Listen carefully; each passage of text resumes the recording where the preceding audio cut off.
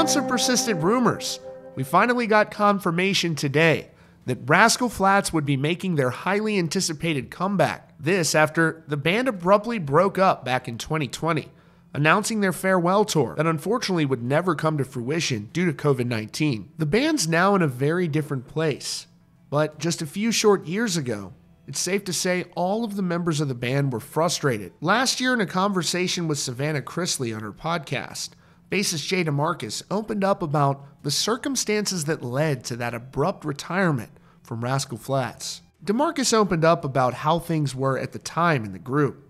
He said, I knew that all of us were frustrated, so what LeVox said in an article I don't think is a real reflection of how it really came down. They're referring to a statement released by LeVox around the time of the group's departure, saying that Joe Don Rooney had left the band, which ultimately led to their decision to retire. DeMarcus pointed out that one member of Rascal Flatts or another had quit the band at various times during their career when tempers had flared, but he said that really, Joe Don Rooney was the first to say that he was unhappy in the group. He said, I think Joe Don was the first one to be brave enough to put it out there that he was tired of the way things had been the last few years. So he shared with us that he wasn't sure he had the energy or the emotional energy to deal with some of the things we had been dealing with on an ongoing basis. At the time, Joe Don had been going through personal struggles.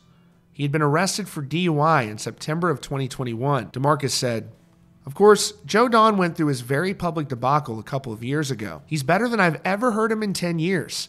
I mean, he's 19 months sober and he's enjoying having some peace and learning how to live again without his addiction.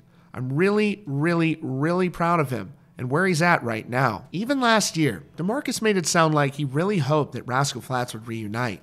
He said, In a lot of ways, I feel like I'm still mourning the loss of the Flatts, even though there wasn't an official breakup. Most of my adult life, it's all that I've known. Getting on that bus, and going out and singing to people and seeing what your music does and how it's touched people is a wonderful, wonderful thing. It's better than any drug you could ever be on. And to have that stripped away from you, not on your own terms, was a very painful thing. And to not have known March 7th of 2020, when we were in New Jersey doing our last show, that that was the last time the three of us would be on stage together, makes me really sad to think about. Thankfully, by now, Joe Don Rooney has turned his life around and he's back on the right path with Rascal Flatts announcing their triumphant comeback. In a statement earlier this year, he revealed the things he had gone through before realizing he had to make big changes in his life. He said, I was drunk and I was so far gone with my life. I was completely out of control and finished with trying to fight the tears, depression, and anxieties that had spun me out in a way I've never experienced before. My drinking had been an issue for many years, and as they say in AA and treatment, it's a progressive disease. I am living proof that the progressive nature of drinking can really ratchet up. And as I grew older, as any adult, my drinking grew worse. Rooney would be arrested after a DUI accident when his vehicle struck a tree. And he spoke about how that night changed his life. He said, Fortunately, and I truly believe this, God led me into that tree safely enough to not kill me, and luckily nobody else was involved and I didn't injure or kill anyone. I could literally be in federal prison for life right now. This is the reality of what my life had become. That event led me to treatment for my alcoholism for four months in the beautiful mountains of Utah. When I first got there, I didn't want to stay. I was ashamed of myself. I was so full of fear and guilt that it took me all of those four months to really start understanding treatment and the AA way and how to best utilize these new tools that I downloaded from the amazing clinicians, counselors, and other patients there. My life has been changed forever, and I'm grateful for the change. And now, Rascal Flatts have announced their reunion for a 25th anniversary tour.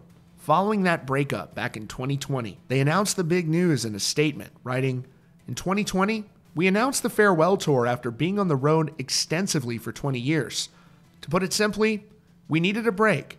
Then COVID hit and our plans came to a screeching halt, like the rest of the world. Since then, We've been able to revisit our unique and special experience as a band, and we're ready to get back out on the road again. They added, It's hard to believe that next year will be the 25th anniversary of Rascal Flatts, and that felt like the perfect time to get back in front of the fans who have given us so much. The Life is a Highway tour celebrating 25 years of Rascal Flatts is kicking off on February 13th in Evansville, Indiana, going all over before concluding on April 5th in Jacksonville, Florida.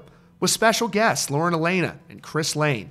Tickets go on sale Friday at 10 a.m., and you can learn more at rascalflatts.com. That's your latest update from CountryCast. Be sure to subscribe with notifications on for the latest news and updates.